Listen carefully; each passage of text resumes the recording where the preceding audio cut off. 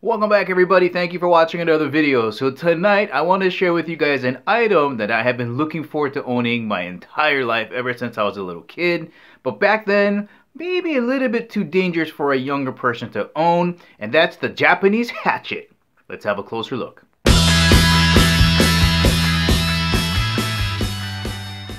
And as always guys, if you want to purchase a Nata at the ending of the video, make sure you check out the link in the description below. Alright, the first time I ran into the Nata was on a camping trip with my family a long time ago when I was younger.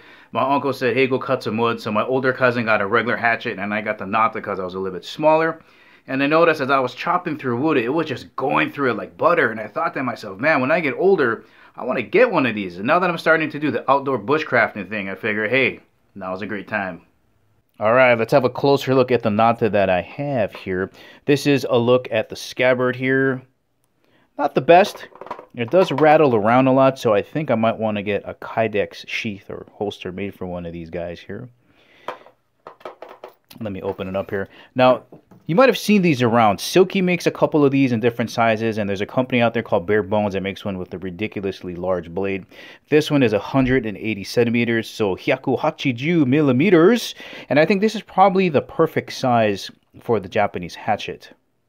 Alright, let's get a good weight reference here.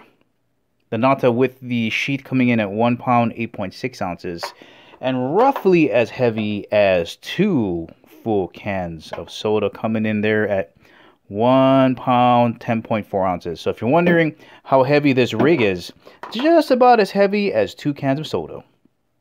All right let's get some size references. So here's a permanent marker. Blade length is about seven inches. That's 180 millimeters roughly right in there. Okay here it is next to the blade. Next to the handle. Heck i'll even bring in a 9 volt battery just to show you how big it is it's pretty, it's a big blade. All right, here's a ruler.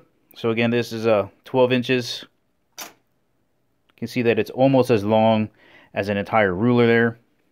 And I know somebody's going to ask here, so I'm going to line that up right there, and we can see that it's just over 7 inches on a ruler.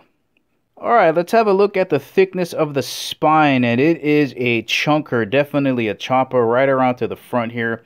And if you're wondering what a chisel grind is, there's a good example right there.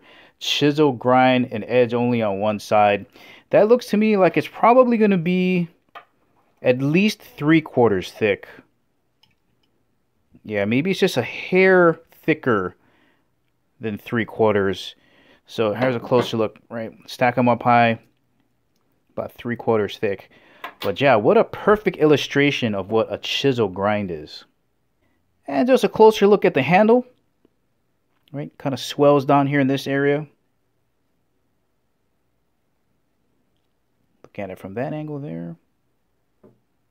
Of course, one of the major advantages of the Nata is that it is very forward heavy, right? You got that nice thick blade a little bit of curvature in here. The blade is slanted forward, and it is a chisel grind. So the advantage, again, of the chisel grind is if you're cutting on something and you're trying to chop down, the blade is sitting flush with whatever you're trying to cut down, like if you're doing feather sticking, or you need your chops to be more precise. Very good for that, uh, as opposed to it sitting on the shoulder. See that there? There's that difference there. So your cuts are going to be a lot more precise. Now the disadvantage of the chisel is if you're coming in from the other angle, probably not going to be as efficient as something with grinds on both sides. And if you're batoning, it's probably going to tend to pull toward whatever side that the grind is on. Now, I've seen these in a couple of different variations. I've seen them both available in the left and the right side chisel grind as well as uh, edges on both sides and as well as a full tang version. But I figure if I'm going to get one, why not go with the original design? Well, alright guys, once again, this was the Japanese hatchet called the Nata. If you think you want to get this in your bushcrafting kit, make sure you check out the link in the description below. Thank you for watching. I'll catch you in the next video.